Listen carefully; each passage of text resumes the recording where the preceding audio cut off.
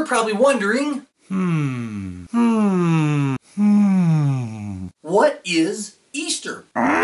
A good question this is. The First Council of Nicaea in 325 established that the date of Easter would be the first Sunday after the full moon. And yet the full moon is not necessarily on the astronomically correct date. Therefore, Easter occurs anywhere between March 22nd and April 25th.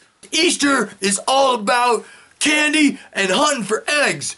And this year, we're taking it up a notch because we have camouflage eggs. So get out there and find our camouflage eggs. And I don't want to hear any excuses because that's what Easter's all about. Finding eggs and eating candy. Easter be about food. Hey, I found some great stuff. I can't wait to show you what I found. Check this guy out. Ho ho ho. He's cool. I go, little dude. Woo! Look at him go! Woo! Woo! Mmm. Oh, nailed it. Here we go. Mmm. All right. Woo!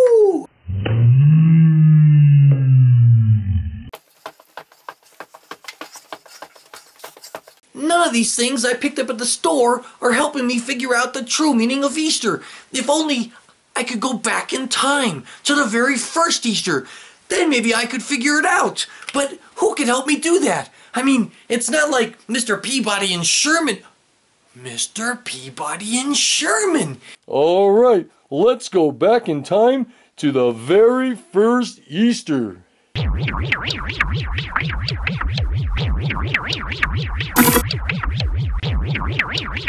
It's very important that we don't let that dead guy get out. If he were to raise from the dead, it would prove that everything he said was true. How many times have I told you not to be traveling time? I know, I know, but I wanted uh, Sherman here to to understand the, the real meaning of Easter.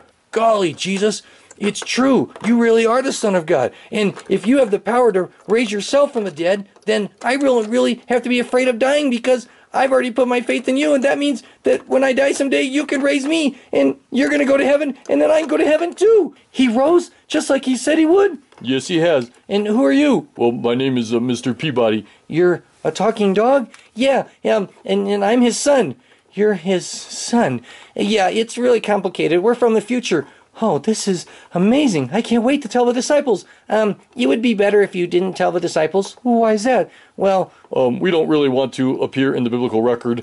Well, Sherman, now do you understand what Easter is about? yes, this is so cool. Jesus wasn't just a great teacher. He wasn't just someone who did miracles. He actually was God's son. We've got to get back and tell everyone eggs and candy and bunnies, those are cool, but the real meaning of Easter is that Jesus is alive. All right, let's get back into the Wayback Machine and let's go way back and let everybody know